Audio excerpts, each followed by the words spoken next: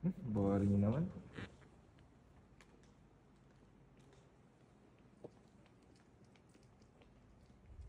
Uy! Di ba Kita ikaw ko yun yun, sa ah. video? Sinusubukan mong skip ang video ko, no? Hindi ah. Boring kasi ng video.